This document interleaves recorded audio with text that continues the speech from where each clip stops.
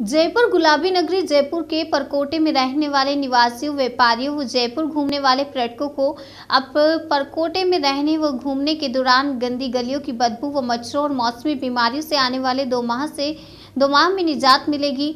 Heritage महापौर श्रीमती मुन्नेश गुर्जर एवं Kishan Paul विधायक अमीन कागज़ी ने बृहस्पतिवार को वार्ड पैंसठ में रामगंज बाज़ार में बड़ी मस्जिद रहमानिया के सामने हेरिटेज निगम की ओर से आयोजित समारोह में परकोटे के तीन जोन की लगभग पाँच हज़ार गंदी गलियों की सफ़ाई एवं मरम्मत कार्य की औपचारिक रूप से शुरुआत की है।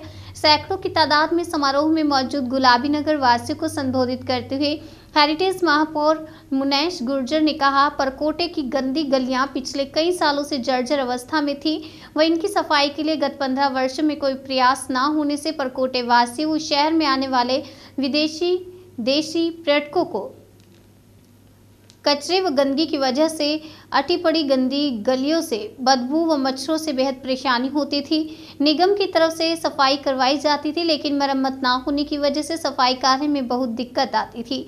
मुनेश गुर्जर ने कहा कि किशन पॉल विधायक अमीन कागज़ी ने पिछले बजट सत्र में प्रदेश के लोकप्रिय मुख्यमंत्री अशोक गहलोत को परकोटे वासियों की उक्त परेशानी से अवगत करवाया। व श्री गहलोत ने बजट में गंदी गलियों की सफ़ाई व मरम्मत कार्य हेतु 25 करोड़ की राशि मंजूर प्रदान करने की घोषणा की। किशन पॉल विधायक अमीन कागज़ी ने कहा कि पिछले पंद्रह साल से परकोटे में न सीवरेज है, न अस्पताल व न शिक्षा की बढ़िया व्यवस्था थी।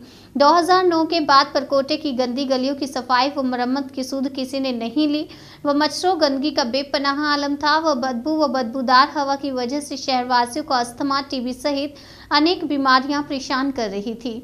लेकिन पिछले बजट सत्र के दौरान उन्होंने मुख्यमंत्री अशोक गहलोत को परकोटे वासियों की परेशानी से अवगत करवाया तो उन्होंने अपने बजट में गंदी गलियों की सफ़ाई व मरम्मत हेतु 25 करोड़ की राशि आवंटित की।